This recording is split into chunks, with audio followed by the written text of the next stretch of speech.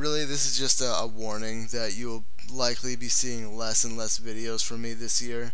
Um, the first two years, I think I uploaded, I think in the first year I uploaded upwards of 200 videos. Like half of my videos came in the first year. And this year, I believe I'm on pace for about 60. Not even. So, yeah, there's, there's definitely been a decline there. And I'm going to have to uh, recalculate how to uh, fix my, my verbal conundrum here. And by verbal conundrum, I basically just mean a new imaginary standard of speaking for myself, and that every sequence of words that I'll ever say from now on needs to sound perfect in my own mind, and if it's even slightly off, I will delete the file immediately. It's just the way I'm wired lately, I don't know. But um, until then, until I fix this um, mental disability, um, here's my blog TV thingy of why I hate Sexy Phil. Enjoy. Okay, here's the deal on why I hate SXE Phil.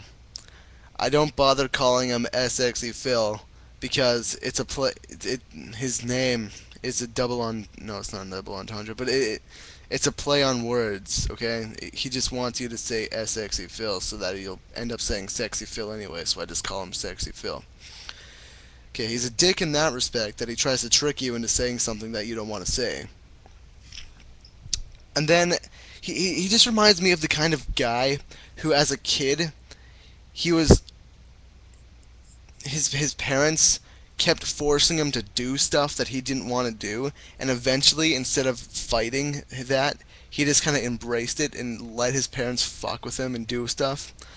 And he eventually, like, either landed up uh, in some homeless shelter or on on a on one of those really really terrible kids news shows where they like there's all this stupid colorful crap everywhere that's that's not necessary and like the desks are made of play-doh and you know he's like they're they're doing commentary on news that no one cares about like fake crap like Barney the dinosaur got several speakers shoved up his ass or something and just the pointless news stories that that are over edited and over produced, and he just reminds me of that guy who who as a kid was on one of those shows and was really good at them, good in parentheses, and everyone looked up to him because of that, and then he took his stupid craft to other places where he was rejected time and time again because he can't hold a coherent thought for more than two seconds without editing it short. So he has to fucking take it to YouTube, which was new at the time. And he took his craft there to where he can edit the fuck out of his videos, so where he doesn't look like he's a complete imbecile. So, yeah, I, I just fucking hate Sexy Phil. He just annoys me. Like, just the way he presents himself, too the way he, he begs for money every time he gets in a little bit of a, of a financial rut because he knows that people are stupid enough to get away with it. Like, I know people are stupid, but I don't take advantage of their stupidity. That's just. It. I don't know. It just. Whatever. I'm not sub to him. I will never be sub to Sexy Phil ever.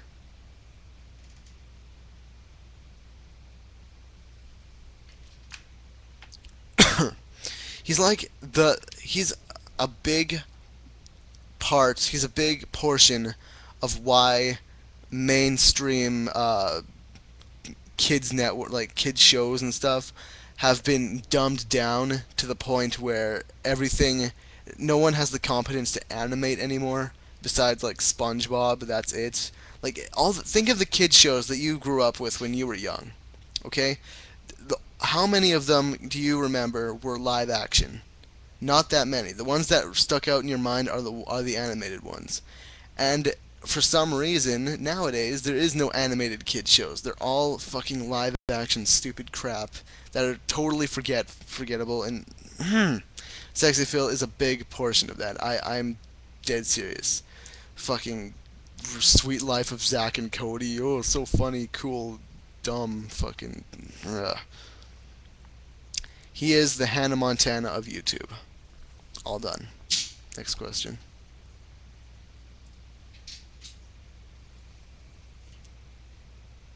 No, they.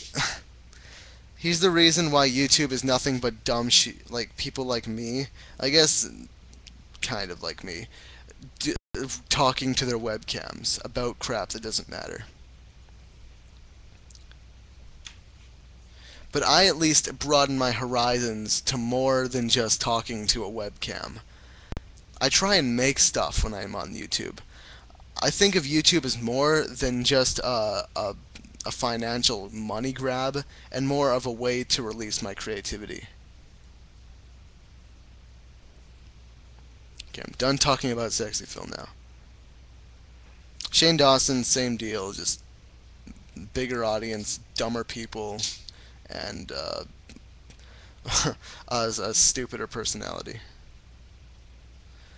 I mean, I'll give I'll give Sexy Phil one thing. He doesn't seem like a stupid guy. Okay, he's taken advantage of a lot of opportunities to to grab money from people because he's smart enough to recognize when he can. Shane Dawson is not that smart. He's a, a floundering idiot trying to get money from even bigger idiots, and the smart people recognize it and don't even bother with them. Now the raw file of the little blog TV thing cuts off there, but I did want to add one thing that wasn't included that I think is actually uh, my main point here is the reason why I said that Sexy Phil is the Hannah Montana of YouTube is because YouTube, because of him, has now become a TV show tryout.